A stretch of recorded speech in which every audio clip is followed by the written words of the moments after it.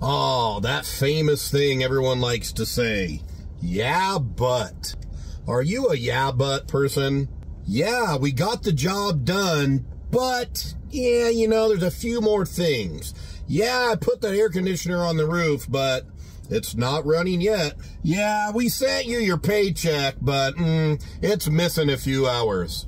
Yeah, you know what, boss? I sent the quote to the customer, but it was kind of a partial quote and missing some information. It's done, but you know what? We got to send a little bit more. Yeah, I'll try, but I don't think it's actually going to get done today.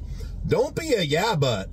You know what a yeah, but is? I call yeah, buts like you're Mr. Excuses or you're Mrs. Excuses. You've got every reason in the world except doing the actual work. You've got every excuse, every reason for why the actual shit's not done that you're supposed to be getting done. Guess who loves yeah, buts? Nobody. Don't be a yeah, but. Get it done 110%.